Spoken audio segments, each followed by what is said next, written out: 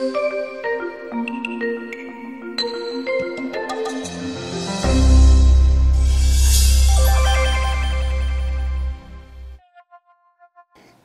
order to understand cumulative organic chemical hypertoxicity as a clinical condition, we have to delve into the history of life.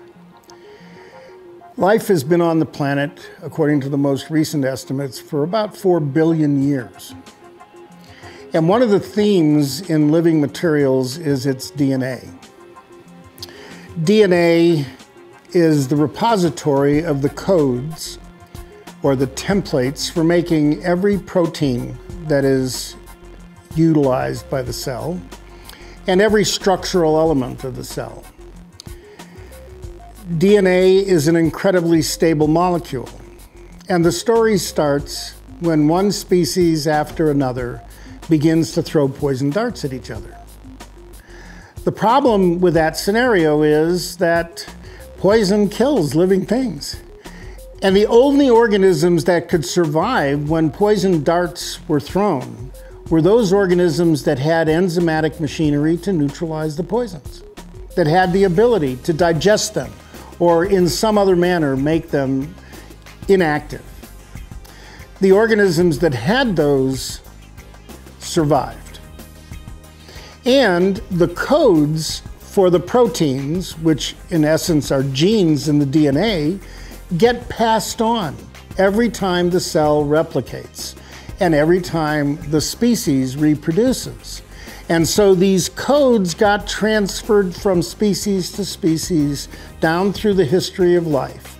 And today, every living organism on the planet of any complexity has 18,000 different enzymes that it can call on to use to neutralize poisons it might encounter along the way through its life. The cells don't make those enzymes unless the poison is present.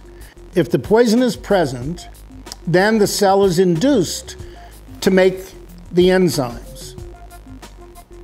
The problem arises because today not all of us have all 18,000 codes. If we are missing significant segments of those codes and we encounter the poisons for which they were intended, we can't protect ourselves.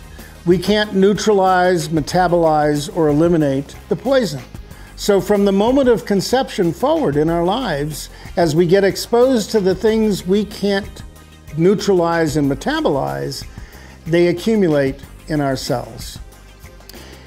As they accumulate in the cells, they reach an equilibrium point in the fluids that are bathing the cells. And basically, they're everywhere in our body. And this is the problem.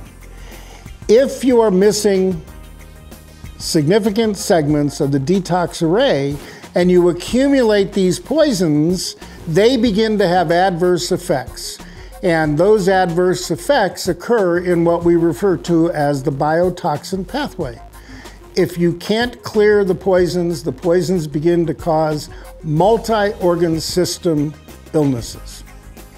When we treat patients who have this problem, what we have discovered is that if we use simple agents that can act as sponges as they go through the small intestine, like charcoal, clay, or something called cholestyramine, we can help a person reduce the circulating levels in the fluids which will rapidly shut off the inflammatory processes in their body.